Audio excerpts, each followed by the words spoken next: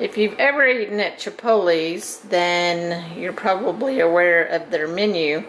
And I'm going to kind of mimic that tonight. Um, I'm going to have some sauteed mushrooms, onions, and bell peppers. And I'm going to use that leftover steak that I cooked last night and add that to it.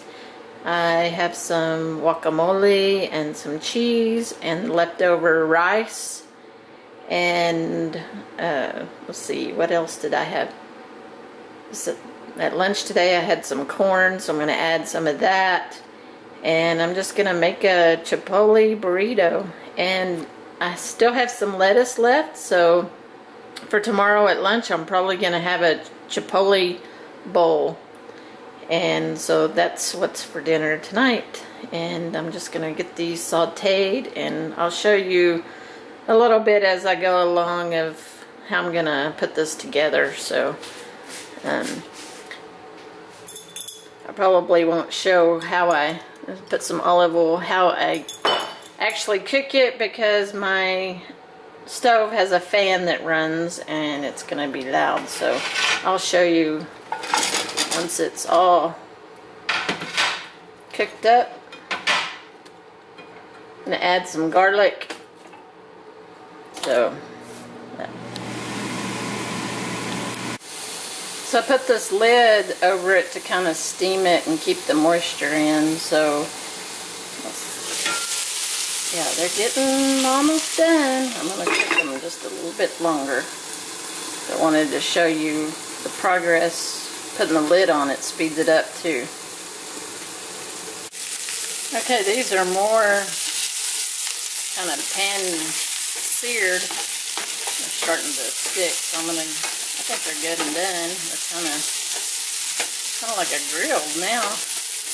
Sauteed, but I'm just gonna put those over here on the plate. And then I'm going to put the steak in here, but before I do that, I'm going to add a little bit of olive oil.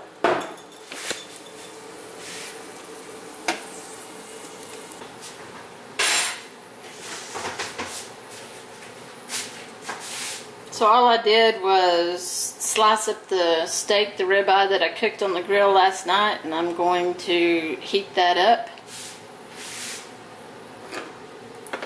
Actually, I probably don't need to heat all that up. I'm just going to make one burrito, so let's do that. I'll have the other one for lunch tomorrow.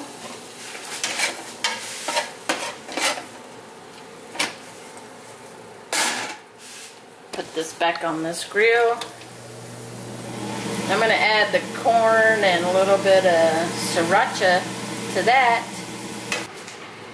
Okay, let's assemble. We have a tortilla.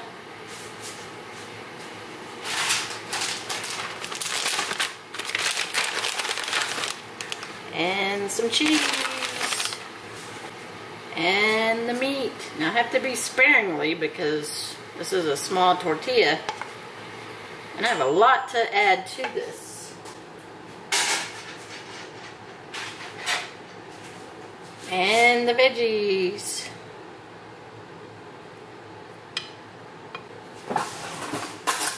And yesterday's rice from last night. And I'll just add a little bit of this. A dollop of guacamole. And just a dollop of sour cream. And I call that a homemade chipotle burrito. Mm-hmm. Mm-hmm. Very good. With a side of stuffed jalapenos. And some salsa. That is what's for dinner tonight.